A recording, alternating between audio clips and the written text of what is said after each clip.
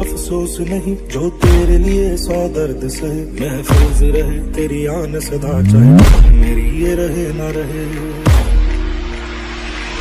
मेरी महबूब तेरा पड़े, कभी रंग से निकल के खून कहे।